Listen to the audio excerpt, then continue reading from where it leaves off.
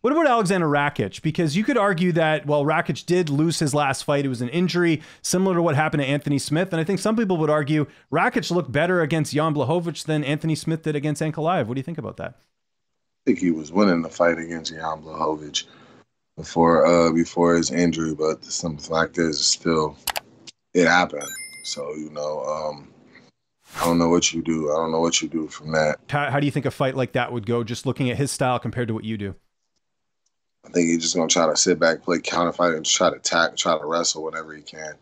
I don't think he's gonna. He's not gonna. It'd be like the same thing with Glover, just with a, a, a bigger, a little more athletic dude.